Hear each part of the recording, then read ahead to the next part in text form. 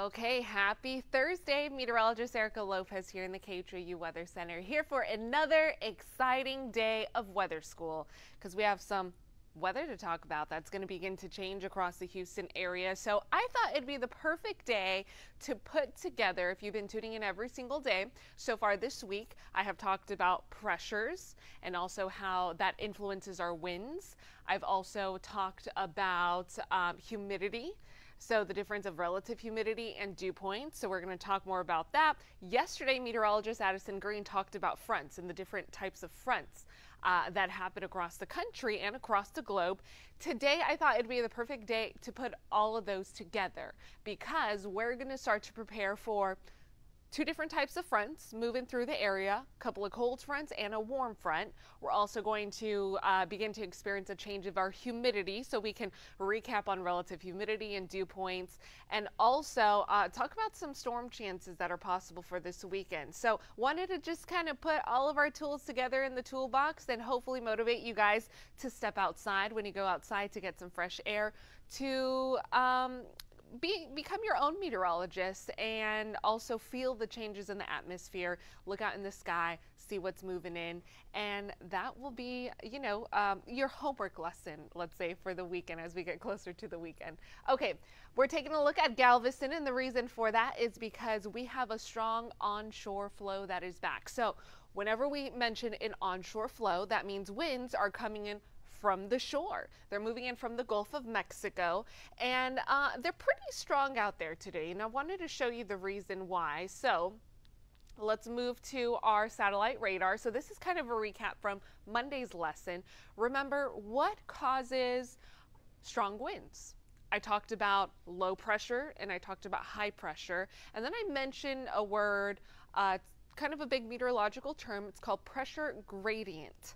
All right. So the closer we have an area of high pressure and low pressure, the closer those pressures are to each other and the quicker it changes from an area of high pressure to an area uh, low pressure to high pressure or high to low air flows from high to low then that indicates we have a tighter pressure gradient and that's going to give us stronger winds because those pressures are changing. So notice air flows from high to low but air around an area of high pressure is rotating clockwise. It's still going into the area of low pressure, just has to go into that clockwise rotation.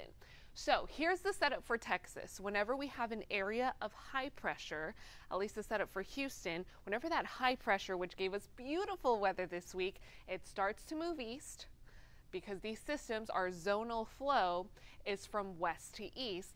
As these systems move east, high pressure is moving east, that is going to give us an onshore flow all the time. All right, so high pressure moves east, southeast winds, onshore flow, very strong onshore flow because we have an area of low pressure moving in, so the pressure uh, gradient is tight. But what else does that onshore flow do? So, an onshore flow for us, after we had low humidity, below average temperatures, that's going to increase our warmer temperatures. So we have warmer moisture coming in from the Gulf, warmer temperatures coming in from the Gulf of Mexico, which explains why temperatures are on average about 10 degrees warmer than what we had yesterday.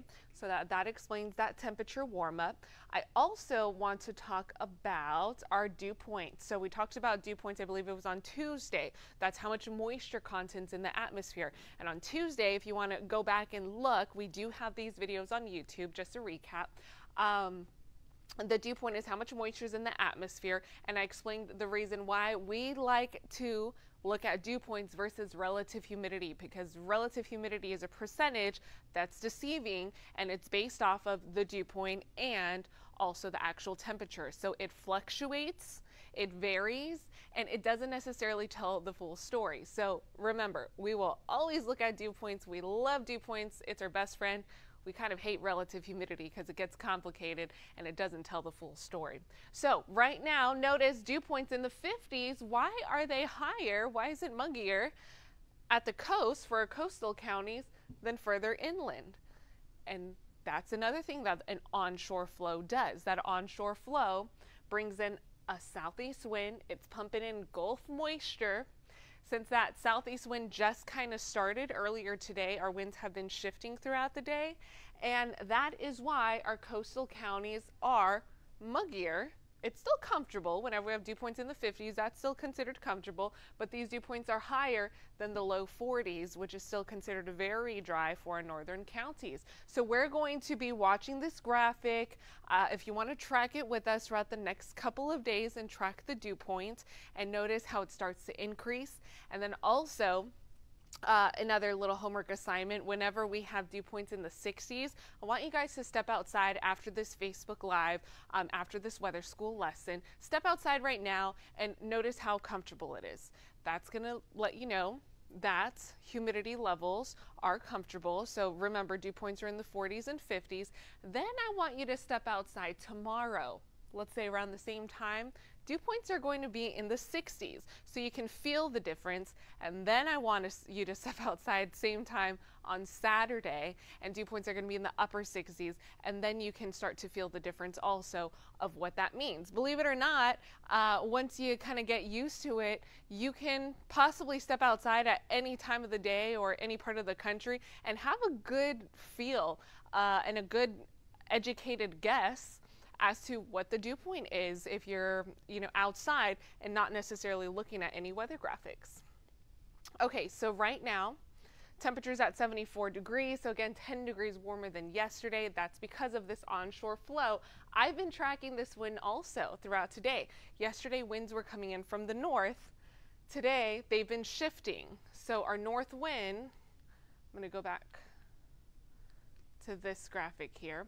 Our north wind, whenever high pressure is on top of us, let me see if I can color this in for. So let's pretend this area of high pressure when it was here, which was yesterday, that was giving us more of a northerly wind, right? Winds are still rotating around clockwise, but by the time it got to Houston, that was still a north wind. So as this area of high pressure shifts east, if you're directly under it, guess who's getting a north wind still? Georgia. Atlanta's getting a dry north wind. But since the flow goes around clockwise, that's giving us an east southeast wind, which again explains our whole weather story for the warmer temperatures and the muggier conditions outside. So let's see what other graphics I have here. All right, let's talk future track, all right? Because I already talked about the change of winds and the pressures, which are influencing our change in our forecast. And yesterday, meteorologist Addison Green talked about fronts. We have several fronts that we're tracking for the next couple of days. So something else that happens with that onshore flow is that clouds. Clouds are going to increase. We have higher moisture content. Well, cloud coverage increase, it's going to be muggier. When it's muggier, it's not going to be able to get as cold at night. Um, and also, we'll be tracking the next front that we'll be moving through. So here's front number one. Moving in on late Friday for our northern counties. So let's talk about storm chances along frontal boundaries, which Addison Green talked about a little bit yesterday. And I like to look at what we call the convergence zone. This is where we have a north wind clashing with our south wind. All right, this is what we call our convergence zone, and that's typically where we draw the frontal boundary and we have lift in the atmosphere around that convergence zone. So what does that mean? That means our warm air clashing with the cold air, that warm air is able to rise. It's rising and rising at a quicker rate than if we were not in a convergence zone. And that lifting mechanism allows for our showers and thunderstorms to um, be able to produce at a higher rate versus if we were not dealing with a convergence. So, so it gives us the lift in the atmosphere that we need for those showers to push through. Okay, now I'm going to fast forward to Saturday because that front is going to move into the Gulf of Mexico, which this is actually a, a late season front. Uh, fronts start tend to not be able to push through the Houston area as we progress through the summer, and then we're just in the dog days of summer, right? But this front is going to stall out in the Gulf of Mexico. Then it's moving back in as a warm front. So we did talk about warm fronts yesterday, and I specifically remember a question um, why um, warm fronts typically bring showers not as many thunderstorm chances as a cold front. This is going to be one of those scenarios that you guys can step outside and kind of visualize okay, I'm looking at radar, I'm looking outside, we have storm chances with the cold front moving in. So, again, cold front bringing in our best storm chance, and then a warm front bringing in some wet weather. But then we have a, the possibility of some severe weather. So with this warm front, it's dragging in a lot more moisture. It's bringing in warmer temperatures. That's going to give us plenty of fuel for the second cold front to clash with, and that's going to possibly give us some severe storms. Best chance for severe storms will be on Sunday. So just kind of visualize um, your homework assignment, I guess, would be to look at the radar, visualize what's going to happen with these types of fronts, and then go outside and verify because that completes the whole process of what it's like becoming a meteorologist or a meteorologist who for, puts together the forecast. The last part of putting together your forecast is seeing if the forecast actually materializes. So this is what our best educated guesses based off of what computer models, and I have looked at several different computer models. This computer or this future track, I did incorporate two different computer models to tell the best story that I could for you guys. So I did, I did, um, this is computer data coming in from our RPM computer model. And then I introduced our GFS computer model. So I kind of mixed two different computer models because again, they all tell a different story. But this is our best estimated guess. And now the question is, is this forecast going to materialize? It could change here and there. Uh, from here through the weekend. And so it's also your guys' job to stay up to date with the forecast and see what actually goes on. But here's a look at our severe threat for Sun.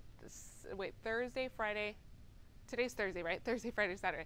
This is for Saturday. Notice the severe threat is not that high. This comes out from the Storm Prediction Center, and they have um, a severe storm threat for three days out. So they have day one, which is on Thursday, today, day two, and day three.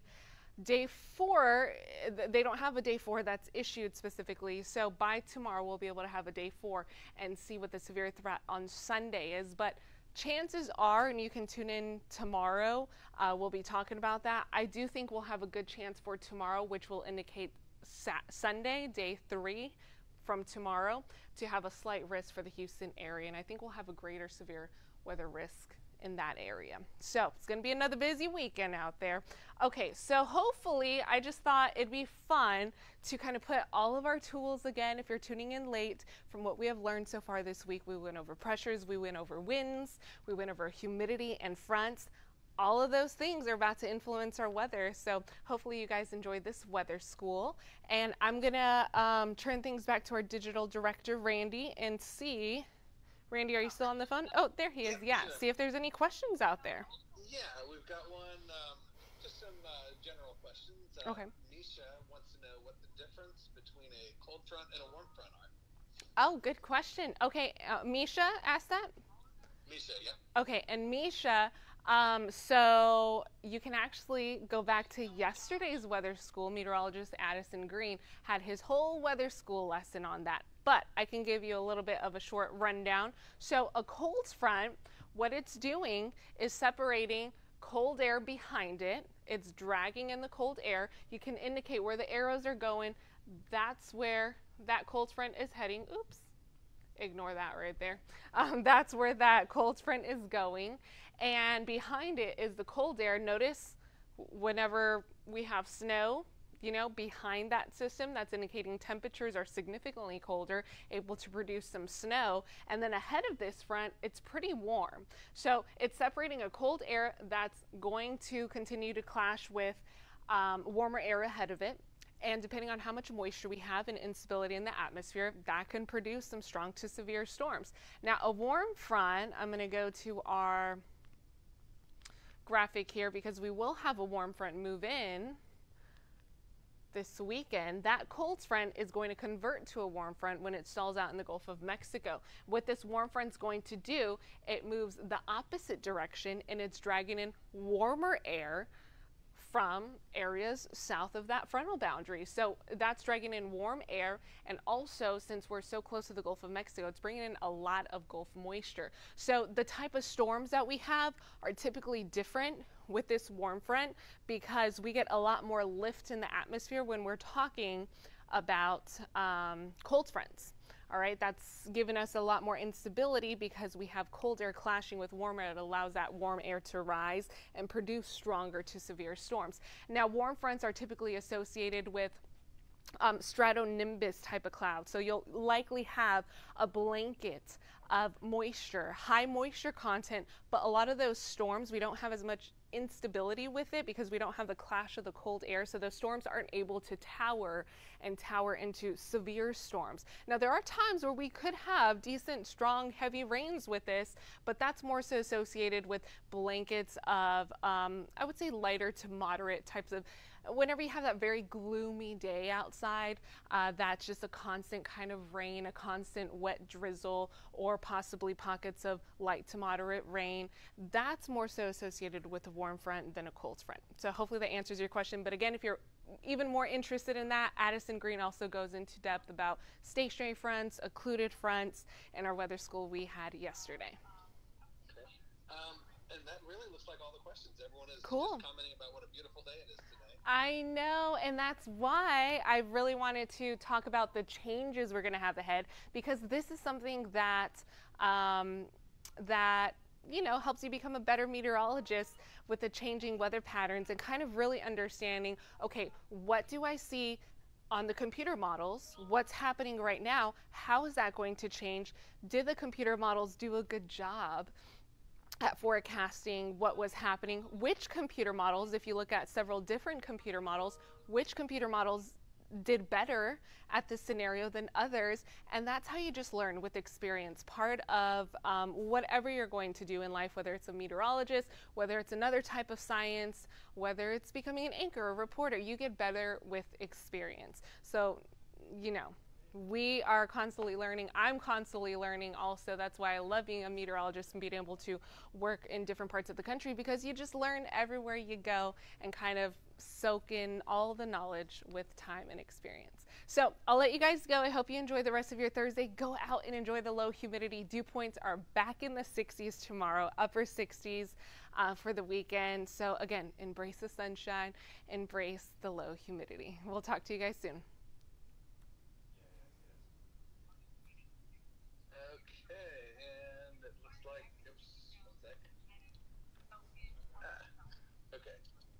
Like you're out. Cool. Oh, although it's not stopping. One second.